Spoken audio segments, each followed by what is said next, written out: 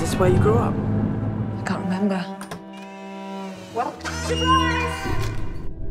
January? I'm so glad you're home. You can't remember anything before the accident. Nothing. And she hugged me. Nothing came back. Good, that's it. This is our home. We can't all run away when we feel like it. Mm-hmm. Something doesn't feel right.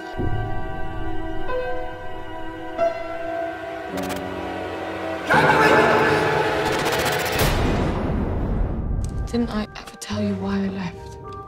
No, you wouldn't talk about it. Come on, I'm your bro. Are you? You don't think so? Callum! Where is my boyfriend? Sometimes sacrifices have to be made to protect the ones you love.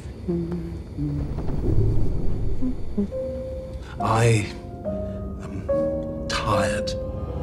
you behaving like an outsider.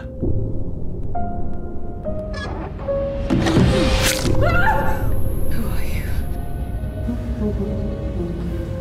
We are your family.